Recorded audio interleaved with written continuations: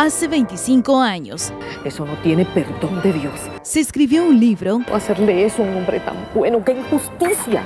que transformó la novela nicaragüense, Nombre, Oliverio Castañeda. traducida a siete idiomas, Con mujeres tan bellas como hay en esta casa, la hermosura de cualquier flor empalidece. galardonada a nivel internacional. Es usted un hombre afortunado, señor Contreras. Ya lo creo que sí. Voz TV, el canal del orgullo nicaragüense, te lo lleva a la pantalla chica. ¿Qué habrán venido a hacer aquí? Él está muy buen mozo. Ay, ni lo sueñes, niña, ¿no es que es un hombre casado? Castigo Divino, del laureado escritor Sergio Ramírez Mercado. ¿Qué fue lo que hizo usted para meterse en los asuntos del señor Contreras? Un juicio histórico que escandalizó el siglo XX. Yo no me he metido en los asuntos de nadie, solo quería ayudar. Eso no es lo que se dice en la ciudad, ¿no? Castigo Divino, de Sergio Ramírez.